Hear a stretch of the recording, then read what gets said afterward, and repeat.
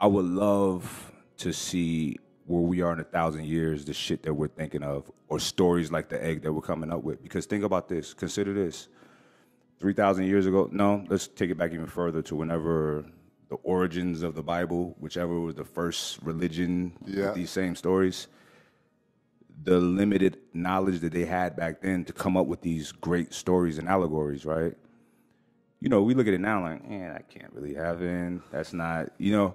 So imagine in 500 years how intelligent we will be to come up with these fucking stories, these Yeah. these concepts of afterlife, whatever, or consciousness. Maybe we'll understand consciousness more hmm. because they're really they're actively trying to figure out consciousness right now. Yeah. They can't No. Because it's not a thing. And it, it speaks to what you said before. Because um, it's everything. It's everything. actually what you said even it was that we're all we're kind of like gods um, in this story we are we are all collectively a, a god in in formation and, and you've said before mike that like we didn't we weren't made in god's image We made we God. made god in our image Right. that's why god always has or seems to have human like characteristics mm. and, and features and is mm-hmm. Looked at as a guy who's somewhere Mm-hmm. In the sky. um, when it when you know that probably makes no sense but we, Right. we've done that to craft an understanding that we can cope with and move forward with Mm-hmm. and that is another unique trait among humans is that Right. we can all agree on something Right. or at least a lot of us and then move Right. forward and that's how we build such great things is that we we all come to an agreement that this is called a table and then now we can move forward and understand that you put things on the table and, and that's how it works right. Yeah. It's fascinating too how you're right. Like we do come to agreement on things, and there's so many smart people and really nice people and capable people that will default to like fairy tale like notions of existence. You know what I'm saying? That's in some religions and, and whatnot. Yeah. I You mean, know, look at like- Christianity. Look at you know all, All- the all all, the religions. You, You know, know what's interesting?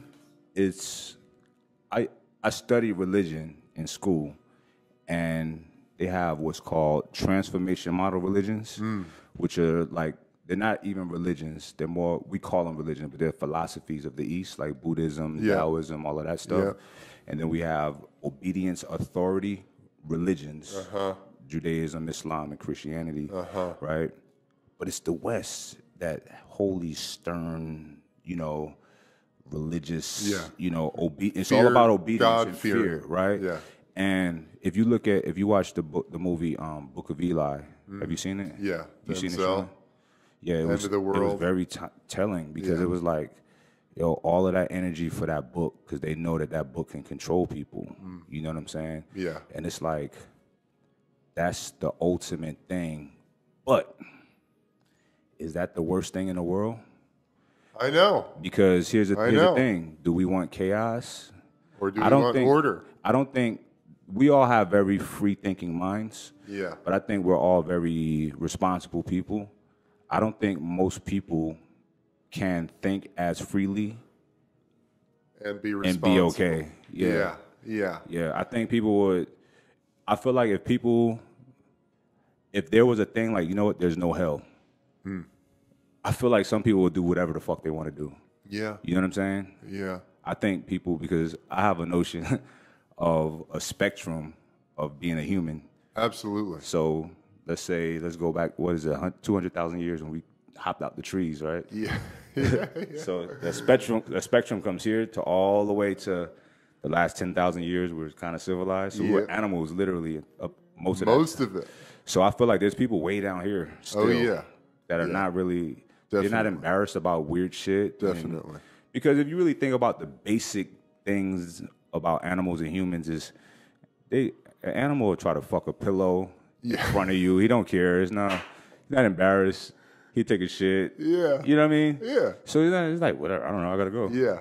Yeah. And certain people do bad things and not embarrassed, like killing somebody or, or Right. raping somebody. Like, how could you fucking do that? Yeah. Stealing. Like, Yeah. you're not worried about how humiliated you'll be when you get caught. Yeah. You know what I'm saying? Yeah.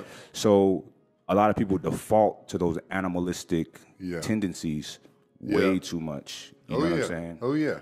Well, there's uh, you know, there's levels of consciousness, Mm-hmm. and what you were talking about, Sean, earlier about, you know, the egg, and this philosopher's idea of throughout all of these different, we live out all of these different lives. And really, throughout our one life, our single life, like my life as Eben, I am constantly, my life has become about transcending these levels of consciousness. You know, like 10 years ago when I was playing football, I was in a much different level of consciousness than I am now.